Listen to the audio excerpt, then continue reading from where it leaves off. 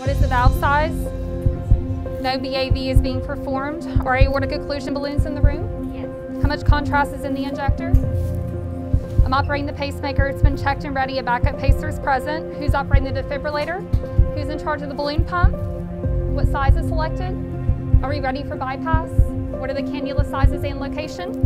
Okay, the ACT is greater than 300. How much blood is available? Does everyone agree to proceed? TAVR stands for transcatheter aortic valve replacement. It basically allows us to replace a diseased aortic valve that has stenosis. This uh, TAVR procedure is a remarkable advance in uh, heart surgery.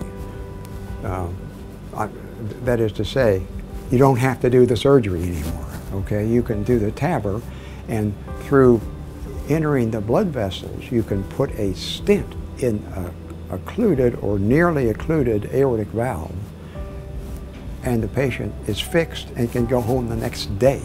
So our physician team includes uh, two interventional cardiologists, Dr. Edward Bergen, Dr. Christopher Thompson, and also a cardiovascular and thoracic surgeon, Dr. Gregory Lugo.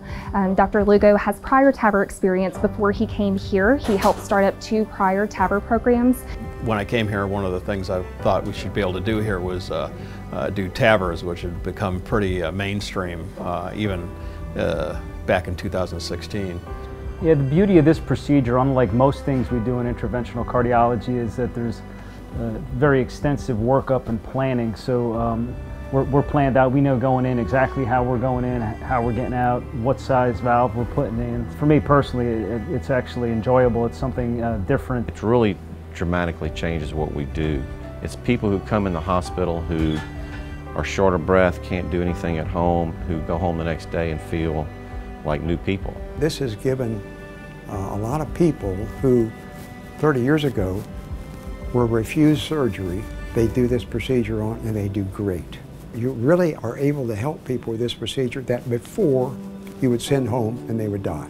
In 2019, we obtained the American College of Cardiology, or the ACC's, transcatheter valve certification. We were the first program in the nation to do so, and we feel like this certification exemplifies that when patients come here, they are being treated by a team that truly values shared decision making, that we provide the best practices, that we have great patient outcomes, and that we truly provide a patient-centered focus when we're providing care to these patients.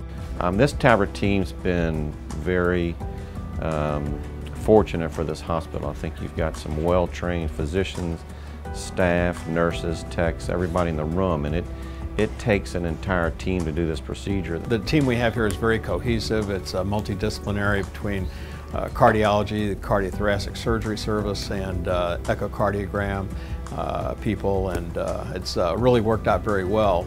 Yeah, we've compiled a phenomenal team that personally I'm very proud of and um, can tell folks you're receiving the standard of care. You, I can assure you you can't get better care anywhere else in the world and I say that with 100% confidence.